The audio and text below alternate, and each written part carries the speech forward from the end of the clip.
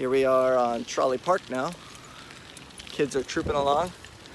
Aslan's riding mommy's bike. Asher and Elsa having a grand old time.